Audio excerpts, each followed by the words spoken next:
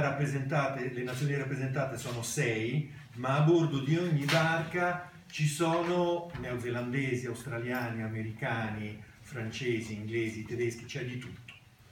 E quindi diciamo che eh, um, è una espansione eh, a livello proprio di, di partecipazione, un'espansione della rappresentativa, rappresentatività eh, internazionale.